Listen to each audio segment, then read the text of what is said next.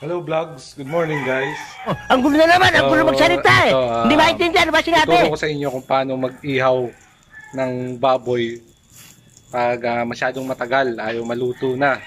So dapat ganito ang gawin nyo para mabilis maluto ang inihaw nyo, lalo na pag nagmamadali kayo. Hoy! Nyo! Yan ang pag-iihaw para mabilis. Isa lang yung direkta sa baga. Gunggong! Barinig kita sa mukha eh. Maluluto na agad yan. Ayan. Balik na rin natin. Sige nga, subukan mo. Oh, tingnan nyo. Tingnan, kanina ko pa iniihaw yan. Eh, maputi pa rin. So, salang ko nga siya sa baga. Siguro maya maya lang luto na yan. Malapit Wow na. naman! Wow! Wow! So, yan. Konti na lang. Konting-konti na lang.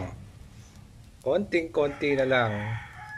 Konting-konti na lang. Maluluto na.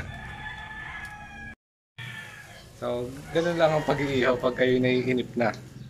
Kanina ko pa niluluto kasi yun eh. Hanggang ngayon eh, puti pa rin. O, di la- latag ko ngayon siya sa baga. Sandali lang yan, maluluto. Tama kayo, tama kayo. Ako lang mali.